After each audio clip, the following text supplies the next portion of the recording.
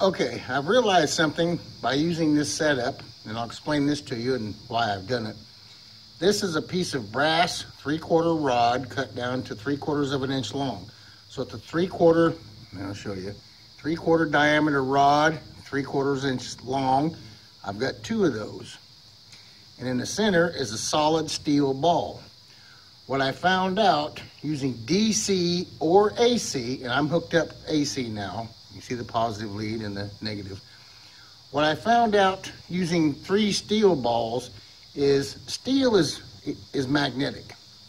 So the electromagnetic field that three steel balls put out causes them to attract and repel, attract and repel. So I don't know that the, the cores and the, the elemental compositions of Earth, Venus, Mars were iron enough to make them electromagnetic, and the cores were, but I, the cores, according to my theory, they're, they're big magnets. But anyway, so I want to show you what happens when the outer, the outer two are not magnetic, okay? The electrode here, the electrode here is brass. The screws are stainless steel, so they're not magnetic either, but the ball in the center is steel. And if you remember on DC or AC, I got that ping pong back and forth. As long as the current was on, they would swing and, and push each other back and forth, the outside ones and the middle one. It, they made a, had a repetition to them, one way or another. But I want to show you what this does, since I've got brass on the outsides with a stainless steel screw and steel on the inside. I'm gonna turn the power on. Power's on. I got to get it going. Actually, it did it itself. You notice it's solid,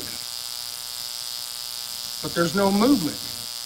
I don't get the uh, I don't get the repel and attraction, attract and repel, attack and repel. It don't happen. And I can swing them, and it doesn't matter. It does not matter.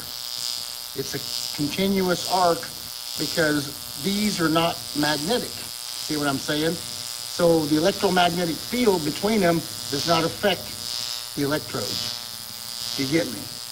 And I'm going to try putting another steel ball in the center with them too, and they should push back and forth. But if you see the difference between what this does on AC and what my other experiment did with three steel balls on AC and even DC, there was always a, a track repel, a track repel between the outside ones and the center one when I had three. So I wanted to show you this. It just, it's a continuous arc.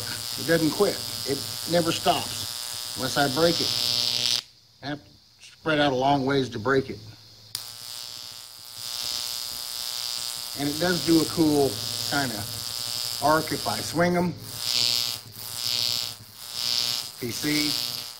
But they'll just continue that until the brass slows down. The steel will keep moving because it is electromagnetic. See how the brass stopped and the steel continues